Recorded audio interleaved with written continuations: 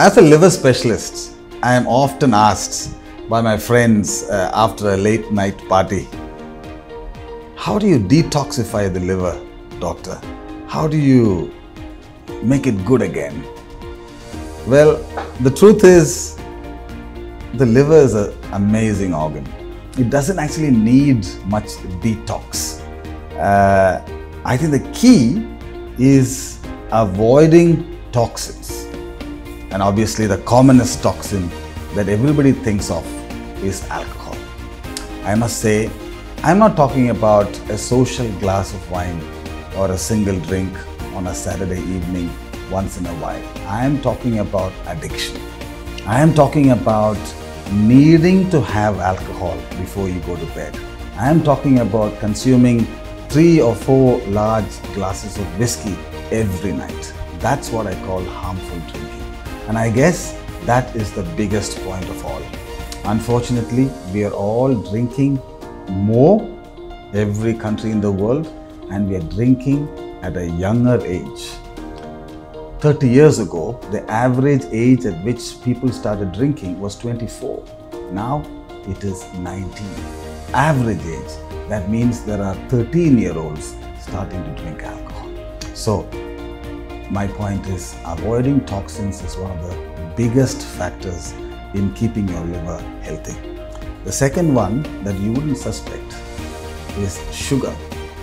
Now, we recently talked about jalebis. I was telling one of my patients, you see a plate of jalebis, we see fatty liver and liver toxicity. So my point is, sugars are not as harmless as you think. And again, moderation is the key. I'm not saying you shouldn't eat anything sweet in your life. If you're not a diabetic, most of the time it doesn't matter. But if you are obese, that means if you are fatter than what you should be for your height, then be careful. Cut down on your sugars. If you're diabetic, get to your diabetologist. Get your sugars as low as possible, as within the range as possible, and that avoids toxicity to the liver.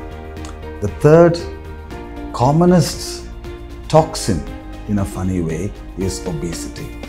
Many of us were brought up with the sort of ideal that said that if you're a little bit chubby, that's healthy. I don't think so. Lean, mean fighting machine is the key word that I would talk about. Muscle is good for you, fat is not.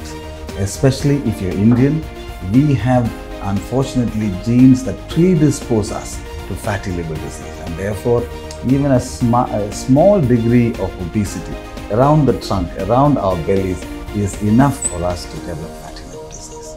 So, I think these are in, interestingly the most important reasons or uh, ways to keep your liver in tip top shape.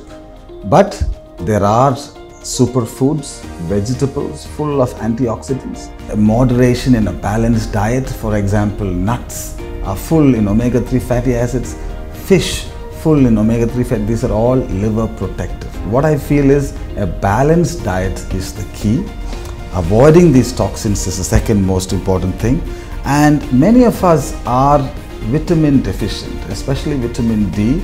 And I think once in a while supplementing our diet with a few multivitamins is not a bad idea.